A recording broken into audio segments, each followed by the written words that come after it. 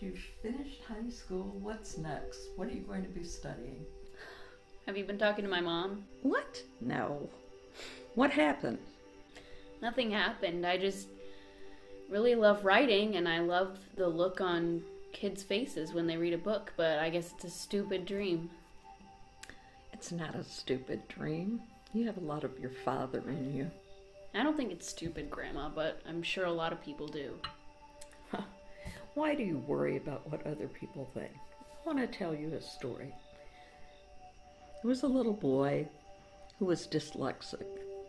As he was growing up, the teachers at the school told his parents that he wouldn't be able to go through school fully like he should, and that they should consider having him become part of the family business, which happened to be farming. Well, he didn't want to do that.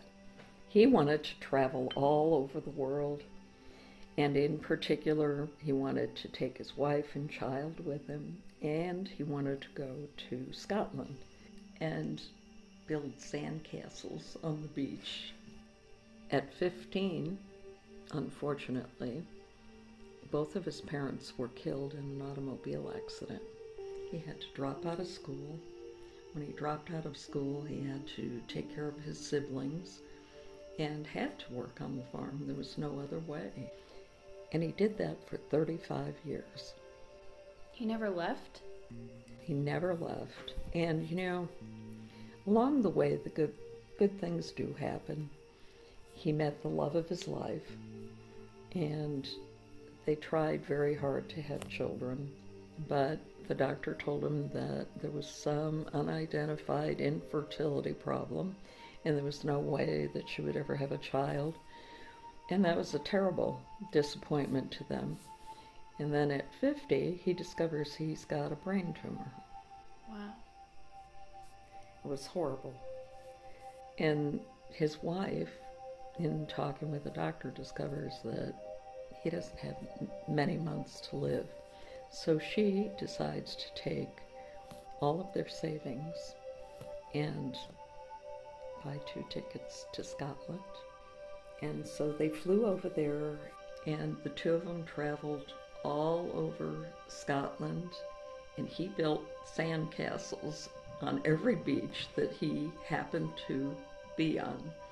So it was funny, but he was doing what he had always dreamed he wanted to do. Then, just within a week, of his death, his wife wasn't feeling well. She went to the doctor. The doctor says, Well, you're pregnant. Wow.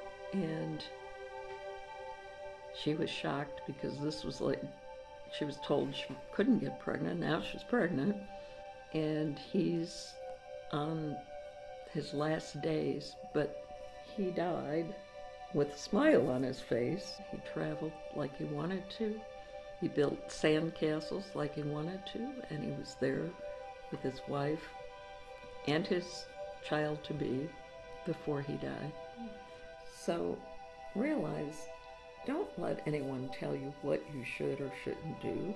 They try to protect you and, or say they're protecting you or trying to make you think that you need to do something more practical. But it's your life. And just remember everyone has to have an opportunity to build a castle on the beach.